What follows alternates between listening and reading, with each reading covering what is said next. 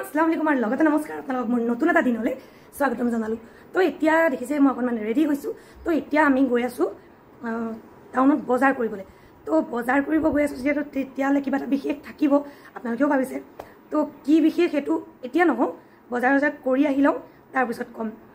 আৰু এটা ভাল খবৰ আছে মানে। তো খবৰটো পিছত দিম তো এতিয়া আমি গৈ থাকোঁ ব'লক আমি টাউন আহি পাই গ'লোঁ আৰু এতিয়া আমাৰ বজাৰ ষ্টাৰ্ট হৈ গ'ল। তো আমি বিয়াৰ বজাৰ কৰিব আহিছোঁ। কাৰ বিয়া কি বিয়া সেইবিলাক একদম ভিডিঅ'টো শেষত ক'ম। তো এতিয়া আমি কাপোৰ পচন্দ কৰি আছোঁ আৰু কাপোৰ লোৱা হৈ গ'ল। এতিয়া মণিহাৰী তাৰপিছত চেণ্ডেল বেগ এইবোৰ সকলোবোৰ কিনিম। কিন্তু দুখৰ কথাটো হ'ল যে মোৰ বহুত ভিডিঅ' ক্লিপ নাইকিয়া হৈ গ'ল। মানে ডিলিট হৈ গ'ল চাগে কিবা কাৰণত। তো কিয় নাজানো মই। তো যিখিনি আছে তাকে লৈ ভিডিঅ'টো আপোনালোকক লগত শ্বেয়াৰ কৰিলোঁ।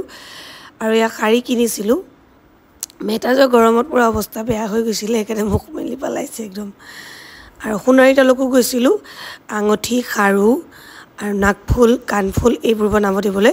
যিহেতু আমাৰ হাতত কম সময় আছিলে তো নেকলেছটো বনাব দিয়া নহ'ল নেকলেছটো একদম পিছত বনাব দিলোঁ। তো এইটোৱে আছিলে আজিৰ ভিডিঅ' তো ভিডিঅ'টো শেষলৈকে চোৱাৰ বাবে বহুত বহুত ধন্যবাদ।